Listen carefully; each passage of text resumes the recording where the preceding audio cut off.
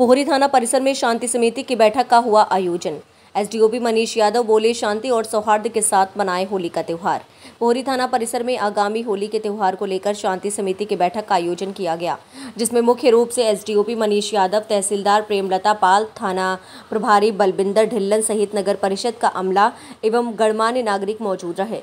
SDOP Manish Yadav ने गणमान्य नागरिकों की मौजूदगी में कहा कि आगामी होली के त्यौहार को शांति और सौहार्द के साथ मनाएँ। शराब के नशे में वाहन न चलाएँ केमिकल युक्त रंगों का प्रयोग न करें। वहीं होली जलने के स्थल पर बिजली के तार न हो इसका विशेष ध्यान रखा जाए। बैठक में सभी गणमान्य नागरिकों ने पुलिस प्रशासन को आश्वस्त किया कि प्रतिवर्ष की भांति इस वर्ष भी शांति स्वरूप होली का त्यौहार मनाया जाएगा। संवाददाता धर्मेंद्र शर्मा की रिपोर्ट।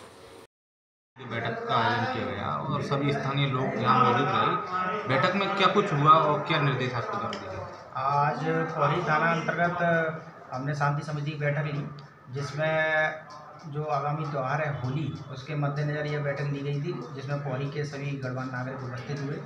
और जो जो स्थान होली जहाँ जलाई जाएगी, वहाँ के सभी पॉइंट्स का उनसे जानकारी दी गई और उनसे अपील की थी कि सभी लोग अपनी शांति, सौहार्द के साथ होली मनाएँ।